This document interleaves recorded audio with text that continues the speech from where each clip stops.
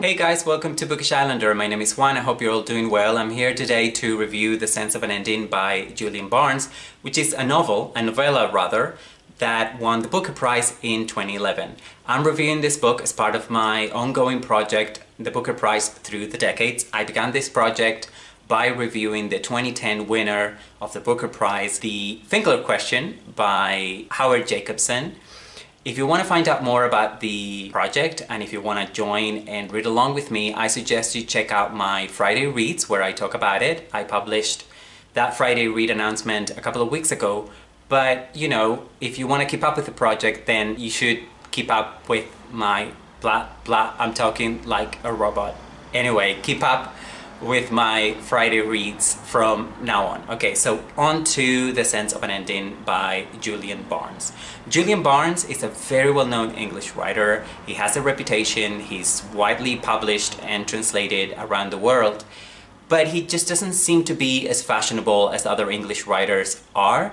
In fact, I don't think I have ever heard anybody talk about Julian Barnes or any of his books on booktube and I prob I'm probably wrong so if you know uh, if you have any videos out there that you've seen or that you've made yourself where people talk about or you talk about Julian Barnes let me know in the comment section down below because I'd be curious to find out what other people think about him.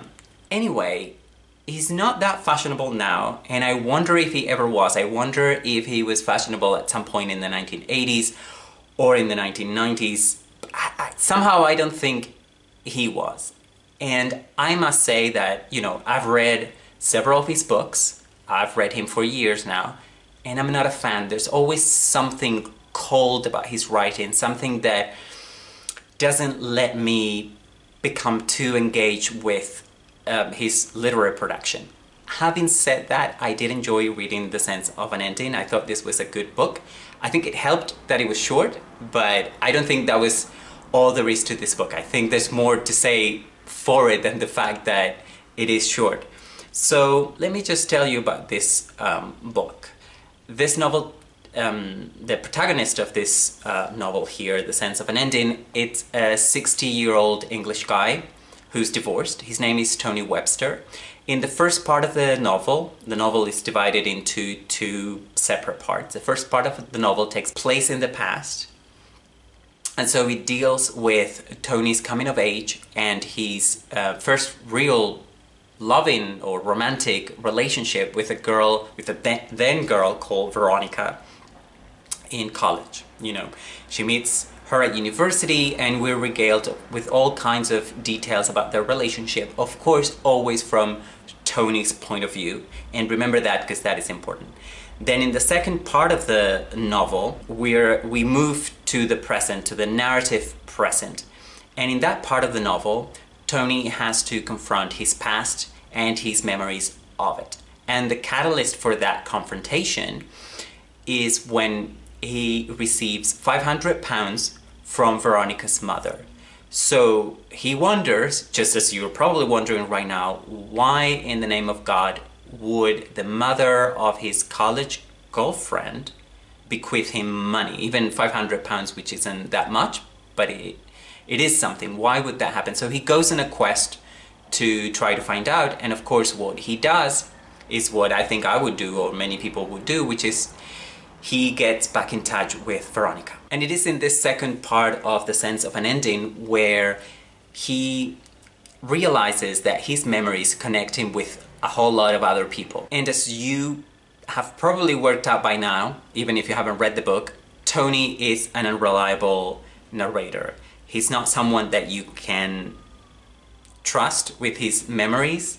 I don't think a person could trust her own memories, let alone somebody else's. So in this case, you definitely shouldn't trust what he's telling you. This novel is a bit of a puzzle, a puzzle where you'd be trying to put all the pieces together and I think that makes for a good book because it keeps you, at least, well, I wouldn't go as far as to say a good book, but a book that keeps your interest. You know, a, a reading this book, I was interested, I wanted to know where the writer was taking me. And I also felt like I was paying attention and I was working alongside the writer to try to find what the ending would be. But beware here, because I thought I saw the ending coming from a mile.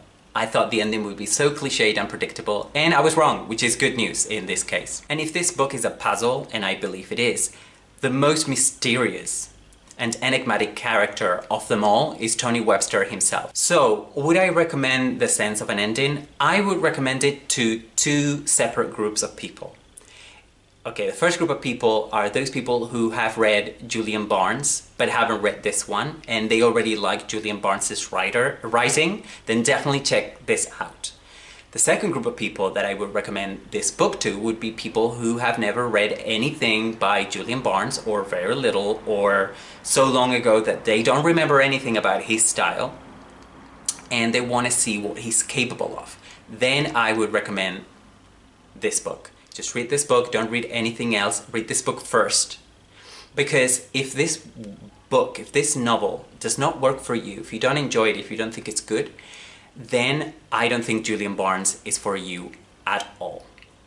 Okay, so that was The Sense of an Ending by Julian Barnes. The next book that I'll review as part of this project is Bringing Up the Bodies by English writer Hilary Mantel. Bringing Up the Bodies is the second in a series, is the second in a trilogy known as the Thomas Cromwell trilogy. The third book hasn't come up yet, it comes up in 2010, I believe, in the month of March, but the first book is Wolf Hall.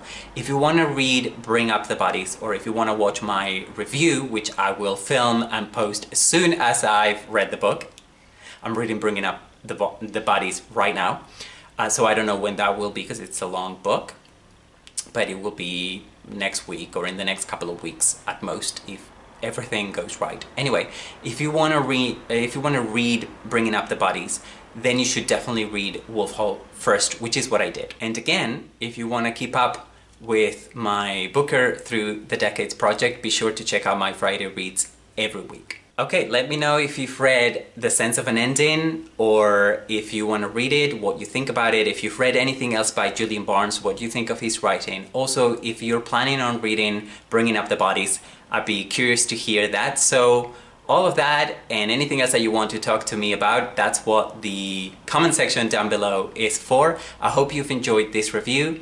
Thanks for watching. I hope to see you again very soon. Bye bye.